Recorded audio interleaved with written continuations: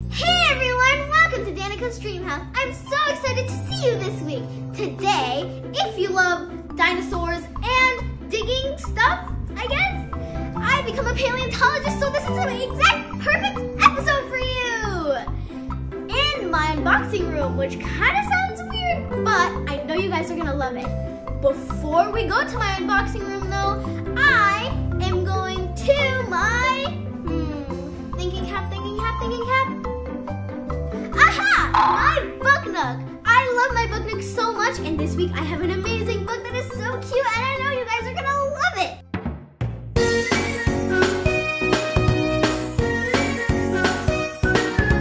Take a trip to a magical place.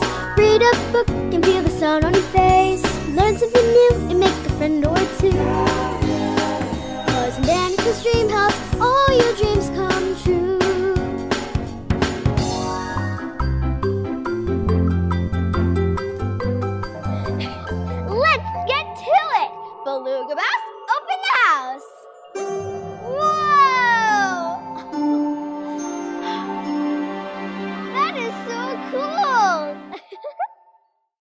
Welcome to my book nook.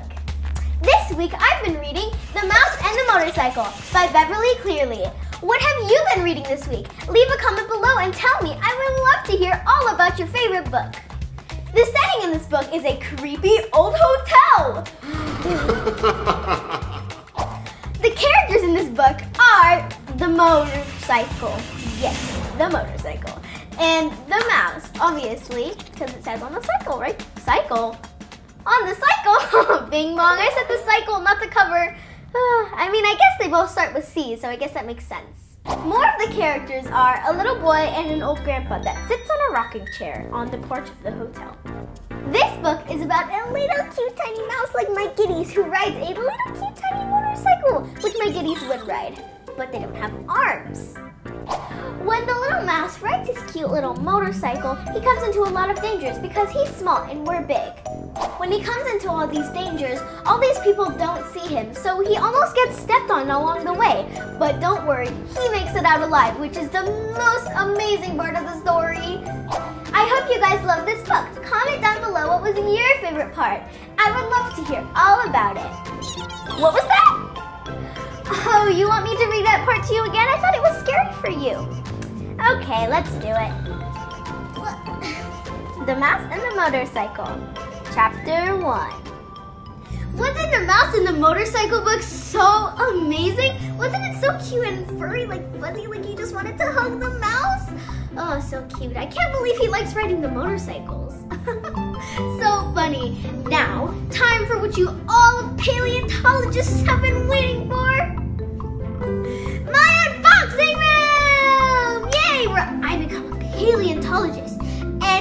Guys love to watch me dig dino eggs and find dinosaurs in them. So awesome. It's like fossils, but real. Let's go! Beluga Mouse, open the house. Whoa! Today I have this I Dig a Dino dinosaur egg with me. And if you don't know what that is, you have this little mallet that comes with it and you just chip it down to find the dinosaur.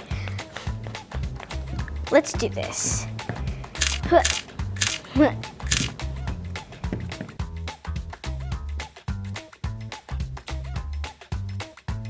Oh wow, this is actually really easy. I think I actually found the dino's head. Let's keep digging and digging. This is like a fossil trying to find the hidden bones in the sand. Whoa, chip just flew off. Okay. Oh, I think my dino is gonna be orange. This is very dusty. Uh, it's getting everywhere. Let's try the other side now. Just dig it, dig your little thingy in there, and it'll work.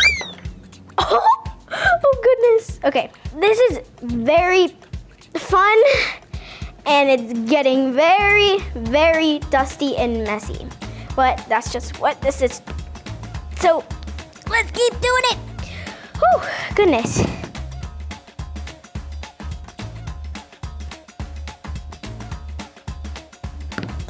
Oh, goodness. Oh, I found its tail. Okay, maybe we're not at the head. And progress update, here is my progress. And we're still getting there, but there's some orange there, and I think that might be my dino, so. I think I got one of those, um, not T-Rexes, um, those herbivore kind of dinosaurs. Don't really know if they're herbivores or not. Herbivores are like some sort of animal, well, not animal, dinosaur that doesn't eat meat. It eats some sort of plant, like vegetables or something.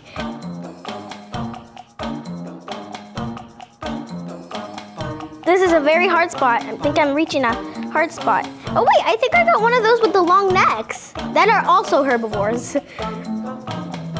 Ow. okay, let's keep digging. There's a bunch of chunks coming off at a time and look at all this. And,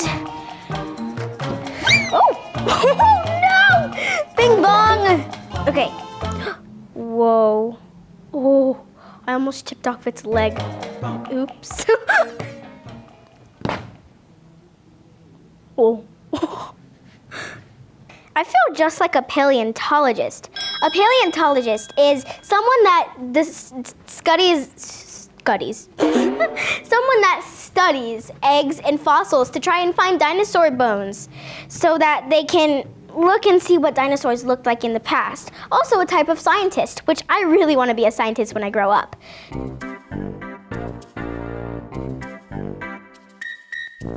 Do you guys know what, what made dinosaurs extinct? Well, if you guys didn't know, then it's a meteor. Do you know what a meteor is? Well, it's like a crashing star coming down to Earth and exploding ginormous explosion. And that's what extincted the dinosaurs. Is extincted a word? Probably not, but that's okay, you know? Let's keep digging, and my hands are very paleontologisty. Ugh. Ooh. Oh, wait! I'm in my dream house, and I just remembered that I have Danika's Dreamhouse Magic to help me finish up this job. Danika's Dreamhouse Magic, do your thing. Whoa! I finally finished this. Well, the help of my Danika's Dreamhouse Magic did. I love paleontology so much. This actually reminded me how much I love it. I love this little paleontology egg from Dig It Dinos. It was so much fun. I hope that I get to do more of these later. Tell me what you guys found inside your egg. But for now, I gotta clean this up because it's getting a little messy over here. Hope you guys loved and enjoyed this week's episode.